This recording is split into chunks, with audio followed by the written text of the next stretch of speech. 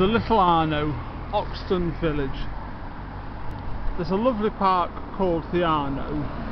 Nobody knows why it's called the Arno, but they think it might have been named after an Anglo-Saxon farmer or noble, you know, thousand odd years ago.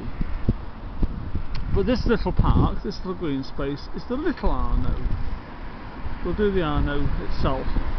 Maybe next year when the rose garden's out. It's a nice little peaceful space.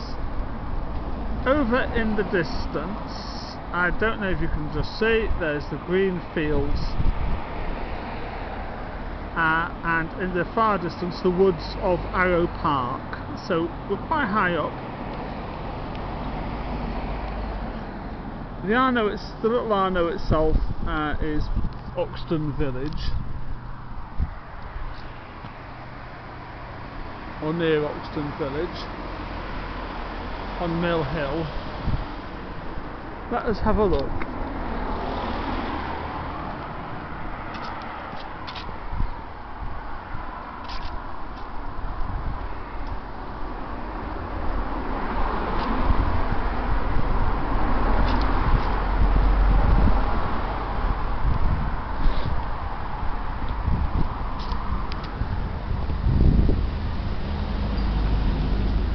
Like everywhere these days there's a lot of traffic noise.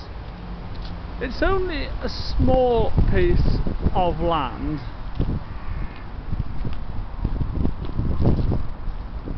But quite peaceful. There's an old building there.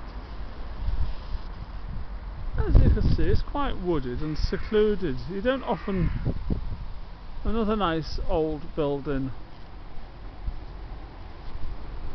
there. We'll just go down the slope a little.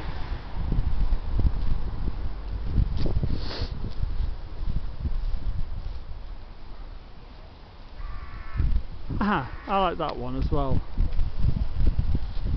With all its peaks and gables.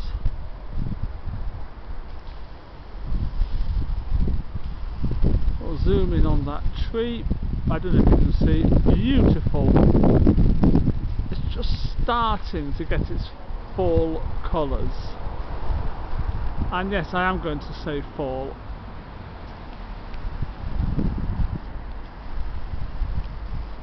Shakespeare did, and apparently it's what we used to call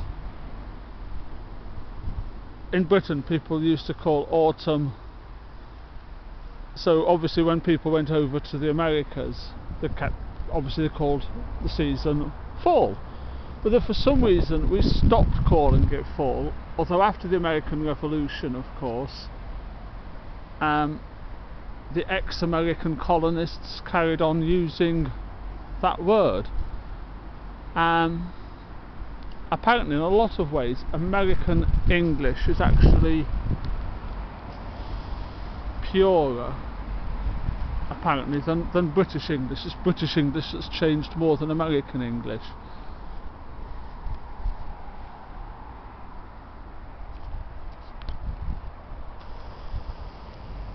Another zoom in on that view over the fields. I am so lucky to live in the western part of the world.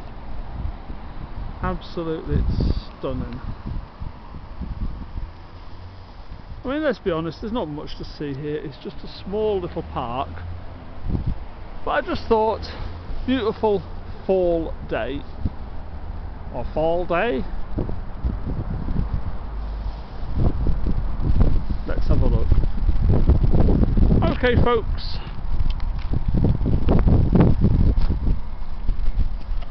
I'll wish you all the best and have a nice day